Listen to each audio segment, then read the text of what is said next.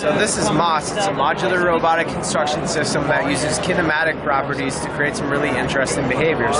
The first of which is just connecting two modules together. All of a sudden you get this interesting property of a universal joint like this. Pair a couple, you get a hinge, three or more, you start getting rigid structures. Now where this comes in really handy is in using something like our actuating angle block here, where if I hook him up to a battery like this guy here, what I can do is create a robot steering system similar to what we use on one of our uh, Bluetooth controlled cars. So you can see now that with this angle, angle block, I can control it using this knob. Now I could hook it up to a more um, kind of dynamic construction here. So I'm going to take it like this, pair it with a couple of things. And then on this side here, I can do the same thing. Some sort of input, like a This guy. Some sort of output. Pair that with the front end of Uh, this. There's a basic robot. You just need to connect it properly. Uh, power is passed through like this guy.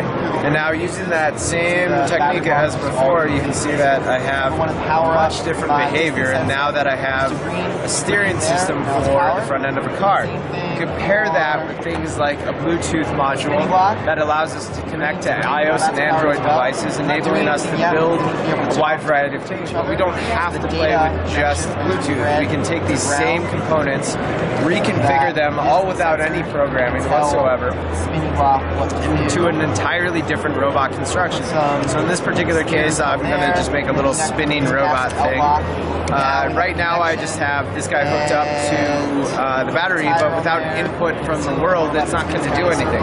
So let's take something like this guy here, which is a proximity sensor, measures distance to objects, and I'm going to hook it up to my little spin wheel. And now you can see as my hand gets closer, you can see the directional change of the wheel. I can take one of these wheels that we are using before and create a little bot that spins around on the ground like this. Starting full production in about a month. Responds to uh, my hand approaching it.